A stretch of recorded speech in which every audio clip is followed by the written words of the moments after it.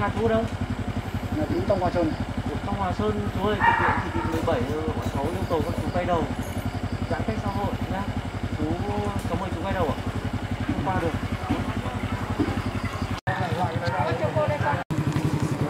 Mình cái kết quả xét nghiệm này thì không đủ điều kiện. Cảm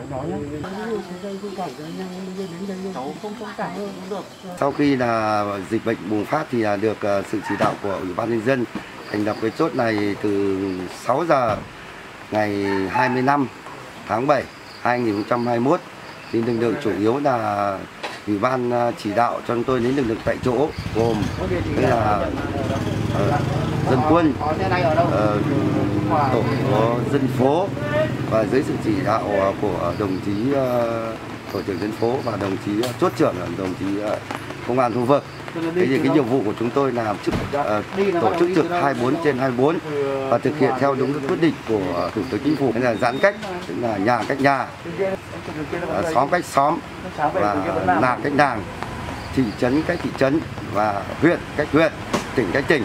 Thì sau quá trình thực hiện từ 6 giờ sáng ngày 25 cho đến bây giờ thì cơ bản là chúng tôi tuyên truyền giải thích cho bà con nhân dân thì à, mọi người là rất là thông cảm và chấp hành theo đúng quy định giãn cách và cái chỉ thị à, của thủ tướng chính phủ. Khu vực chốt này thì thứ nhất là có đặc điểm là do quá trình là chốt tức là của thành phố Hà Nội cho nên là bà con là nhân dân và một số tức là các à, trường hợp tức là khi bị cấm nghiêm ngặt ở ngoài đường 6 thì đi vào trong uh, cái đường của tổ 4 và để đi uh, về Hà Nội.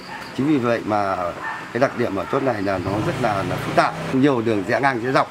Chúng tôi buộc chúng ta phải cố gắng tức là hoạt động để ngăn chặn à, tất cả những các trường hợp mà à, đi ở các cái vùng khác xa lạ để về địa bàn và giải thích cho bà con dân là quay về vị trí cũ.